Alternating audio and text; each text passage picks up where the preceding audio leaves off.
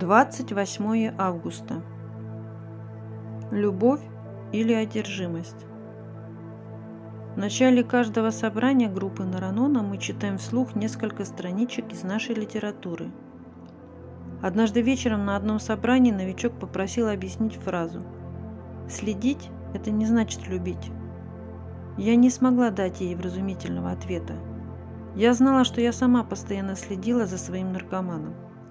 Поэтому я задумалась, если следить это не любить, тогда что же я чувствую к наркоману? Будучи человеком с логическим складом ума, я поискала определение любви.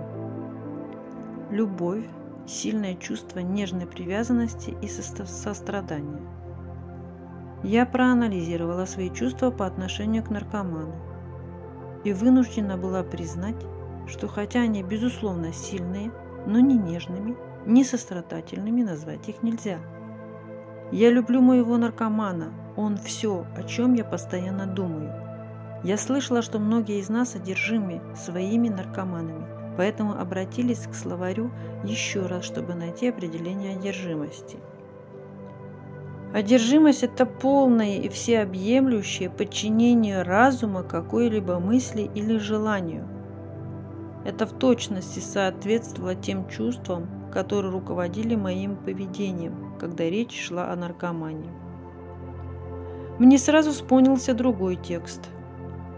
Мы узнали, что наркомания – это болезнь. Это болезнь с двумя составляющими – физическое пристрастие в сочетании с содержимым состоянием рассудка. Затем я посмотрела на определение слова «наркомания». Было два определения. Первое толковало наркоманию как физическую зависимость от наркотиков, а второе было более общим – непреодолимое навязчивое желание, которому зависимый посвящает все свое время. Размышления на сегодня. Когда все, о чем я могу думать в жизни, это мой наркоман, я напоминаю себе, что зависимость по смыслу гораздо ближе к одержимости – чем к любви. Сегодня я выберу любовь.